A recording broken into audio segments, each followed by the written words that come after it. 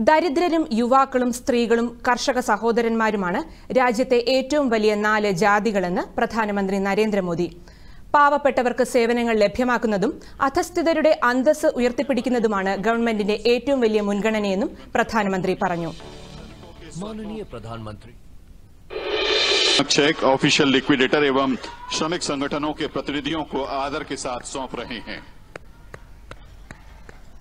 श्रमिक भाइयों और बहनों की, बरसों की तपस्या, उनके कई वर्षों के सपनों और संकल्पों का परिणाम है।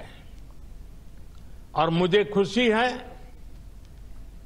कि आज अटल जी की जन्म जयंती तो है, लेकिन भारतीय जनता पार्टी की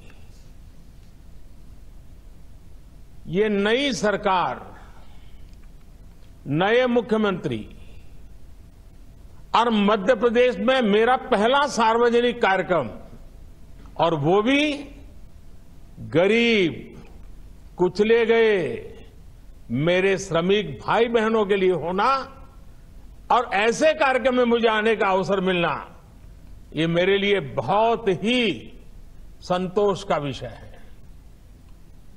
ഇൻഡോറിലെ ഹുക്കും ചന്ദ് മില്ലിലെ തൊഴിലാളികൾക്ക് മുപ്പത് വർഷമായി നൽകാനുള്ള കുടിശ്ശിക നൽകുന്നതിനായി സംഘടിപ്പിച്ച പരിപാടിയെ വെർച്വലായി അഭിസംബോധന ചെയ്യുകയായിരുന്നു അദ്ദേഹം. പ്രധാനമന്ത്രിക്ക് വേണ്ടി മുഖ്യമന്ത്രി ഡോക്ടർ മോഹൻ യാദവ് പ്രതീകാത്മകമായി ഇരുന്നൂറ്റി പതിനേഴ് കോടി നാൽപ്പത്തിയാറ് ലക്ഷം രൂപയുടെ ചെക്ക് തൊഴിലാളികൾക്ക് കൈമാറി. അയ്യായിരത്തിലധികം തൊഴിലാളികൾക്കും അവരുടെ കുടുംബങ്ങൾക്കുമാണ് ഇതിന്റെ പ്രയോജനം ലഭിക്കുക.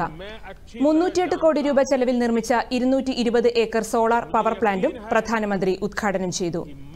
സദ്ഭരണ ദിനത്തോടനുബന്ധിച്ചാണ് ചടങ്ങ് സംഘടിപ്പിച്ചത്. മുൻ പ്രധാനമന്ത്രി അടൽ ബിഹാരി വാജ്പേയിയുടെ ജന്മദിനമായ ഇന്ന് രാജ്യം സദ്ഭരണ ദിനമായി ആചരിക്കുന്നു.